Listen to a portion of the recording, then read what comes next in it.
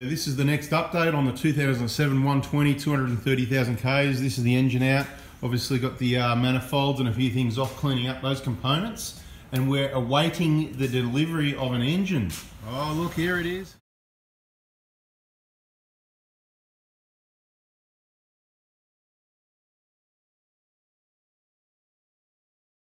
Right, so we've got an engine here. This is how a new long motor comes, people.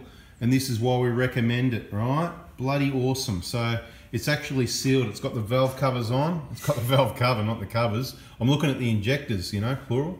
Uh, it's got the valve cover on. It's got the injectors in. It's got, look, it's got the nozzle seals in there. They're all taped up. It comes with fuel pipes, okay? So um, they're normally strapped on the side. We've just taken those off. Now we've got to get everything cleaned up and swapped over from the other engine to this one. Have a look at this baby. Everybody's excited when a when the engine turns up, right? So this is how it turns up. Obviously quite a lot of other gaskets and bits and pieces and O-rings and stuff we replace all the way down and the sumps on. So it's not half a long motor, um, quality, made in Japan. Alright, so let's have a look uh, a little bit closer at this engine, have a look at a few things. Bit of interesting information.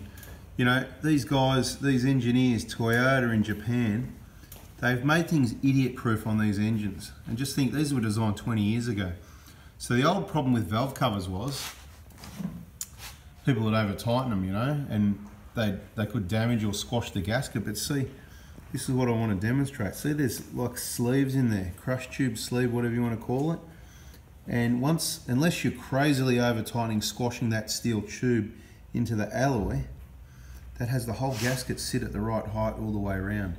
Now when you do have these valve covers off, and we're not taking this one off for any reason, but the only place you need the RTV, the specification by the book is four little dobs. One is right there at the top of that half moon, right? One there, that's two, one, two. So they've actually put a bit too much here, but it's not bad. And at each side of this hump here, right? So again, so you'd go one, two, You'd make these two one and one little dob at that bottom corner there as well. And my money's on you could probably get away without it, but that's to be sure to be sure. Nowhere else on this valve cover is there or should there be any RTV silicone. And yes, that gap is normal because it is what's required. You can see the crush tube. I hope you understand what I mean. So underneath that bolt there, if you watch our other videos, you'll have seen it anyway. But underneath that bolt is a tube. And basically the specification is nine Newton meters. And I've said it before, it wouldn't really matter if it was nine, 12 or 13. Stick to about the nine or 10, because once that tube in there makes contact, that's it. So although the engine comes complete, there's a lot of components to swap over. Starting off, as you can see around here at the front, the water pump, the, the tensioner bracket goes over the top there. So your alternator and aircon compressor, the aircon compressor obviously stays in the car, but the alternator. Over this side, obviously the inlet, oh, sorry, the exhaust manifold, of course. Um, so new exhaust manifold gasket, they're about 50 bucks on their own, 50, 60 dollars. We use the turbo kit, there's a kit for about 80 bucks and it's got all the gaskets for the turbo. What's happening over here, the kit um, comes with a number of gaskets. Remember, it's about 10 gaskets and we change over all every gasket where any pipes come in and out so that all starts fresh. You don't want any leaks okay? So over this side of the engine um, this heater pipe here you need a gasket for under there. The thermostat's in here now quickly on thermostats you can replace the thermostat. They're only 20 or 30 bucks but 99.9 I mean literally 999 plus out of a thousand thermostats in these engines work really well and I have replaced a few thermostats and I have had thermostats that read the wrong temperature at idle, a couple of degrees out. So I actually prefer to use the old one if there's nothing wrong with it. That way you're not getting caught, in, caught out replacing one and then you end up a couple of degrees out and you've got to do it again because they're a real pain to access down there once the engine's together. So a new O-ring for the thermostat. Okay, working our way around over at the front here. Obviously we need to take the, uh, the cam gear off and put the plastic backing plate in there. They, they no longer come with that. The water pump's on there, which is really good. have to swap over the uh, crank sensor, which goes in a hole just down here. So the harmonic balancer has to come off the other engine and get installed here. The seal will be already installed behind there. You know, you got the vane and the vacuum pump here, new O-rings for those, and the supply pump. Yeah, so the vane and the vacuum down the bottom, supply pump goes on the back here. Other sensors here, O-ring. These O-rings, you can generally reuse them or you can just get one out of your kit if you think it's gone hard. Put a bit of Molykote on the, on the hole or on the O-ring. Over this side, of course, your whole inlet manifold has to come off. That gets cleaned up, all new inlet and EGR gaskets. Here's your oil cooler. This is where your oil filter goes and there's coolant flowing through there to help cool the engine all down. So one of the first things we do is obviously, uh, I've got a couple of people on the job stripping components off one engine and so things like the glow plugs, you could reuse the glow plugs. We don't see problems with 1KD glow plugs, but you know, if you're spending this sort of money, who's going to reuse the glow plugs, right? So we've got new glow plugs to go in the engine. It is one of the components that doesn't come with the engine, which it's a bit surprising some things that do and some things that don't come with the engine. Uh, so we're going to put a little bit of anti-seize on those and uh, basically they will go in the holes. That's one of the first jobs. This video is not to show you how to swap a whole engine. It's just to share some information and let you know some of the things that are involved if you let the engine go without checking the oil pickup, without having the injectors changed. If you end up in that worst case scenario situation, this is some of the things that are involved.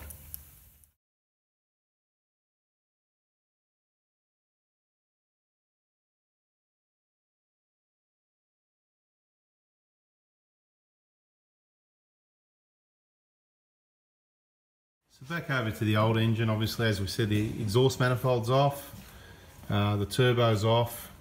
We just uh, removed the heater bypass pipe which will be about to get swapped onto the other engine. Next thing will be the thermostat and the thermostat housing cover here, the engine mount bracket. This side seems pretty straightforward, then it's just get the exhaust and the turbo back on.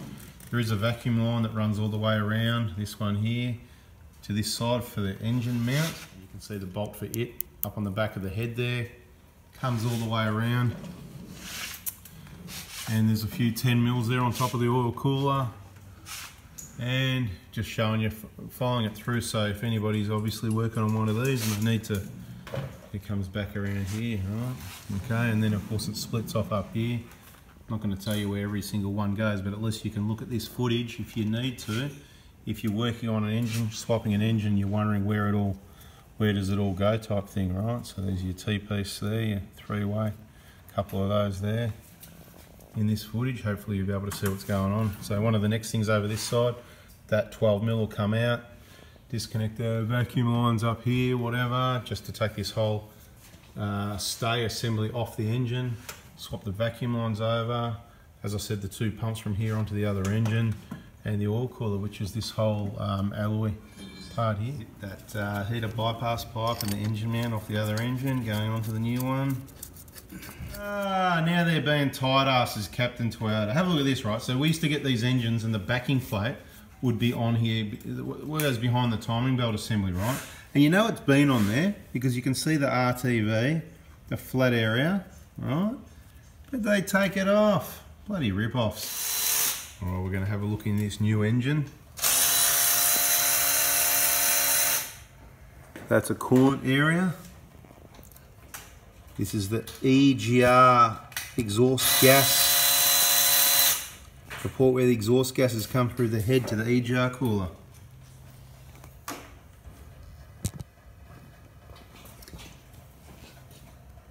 Cylinder 1, port and valve. Cylinder 2. It's the last time you're going to see it quite that clean. Well, it was number one cylinder actually, two on each cylinder of course. That's number two, and number two, number three, looks good. Number four, these are all taped up, but we'll just maybe get the compressed air and give it a quick, quick blow just to make sure there's nothing in there. Can't quite get that one happening right. Oh, I'm in the wrong hole. He's in the wrong hole, man. Keep going. There you go. That'll work better. All right. Cool. The oil cooler off.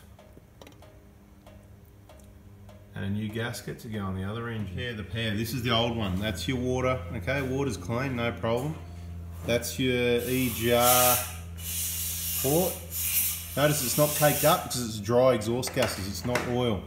Your intake has a slight amount of oil from the crankcase ventilation system, but it makes the exhaust, all the crap from your dirty old flogged injectors that aren't burning clean, makes the soot. Alright, so clean injectors help reduce this also. Right, and less EGR flow. EGR is the problem. Exhaust gases, look at that mess. Right, see down to that port. Have a look at the back of the valves like.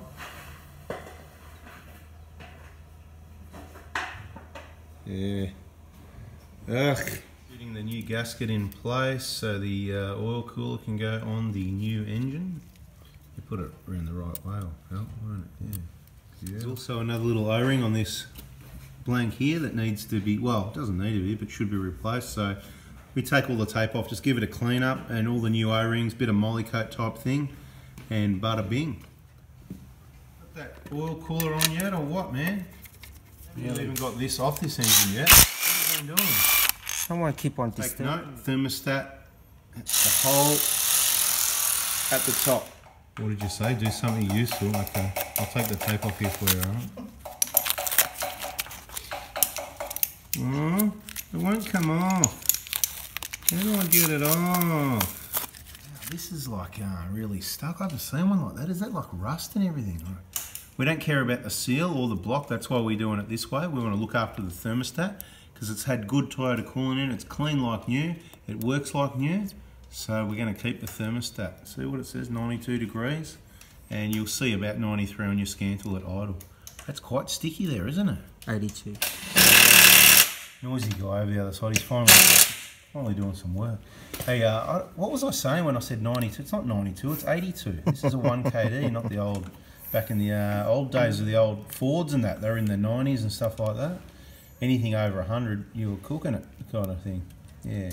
So 82 it says on the thermostat, that's when it opens. And on your scan tool, you'll see 93. By the time the coolant gets from this point of the engine around to where the sensor is, on the front of the head, that's what you see basically. So we're going to get this back on, the thermostat and housing, and then the exhaust manifold and turbo can go on. That's it for this video, guys. That's your next update. This is, we'll call, what's this, part 8? I can't remember we're up to. We'll add it into the playlist. If you watch this video first, then you probably should watch the 7 that go before it. It's in a playlist on our channel called, I think it's called 2007 120 Prado 230,000 Ks or something similar. So go and check that out. Please give us a thumbs up now if you got some information and like what we're doing. And uh, yeah, turn the subscribe and turn the bell on so you don't miss the next important bit of information. All this information is universal in a lot of ways where you can use it on a lot of other vehicles. Okay, good mechanical information. Thanks for watching guys. Bell on, subscribe, thumbs up. See ya.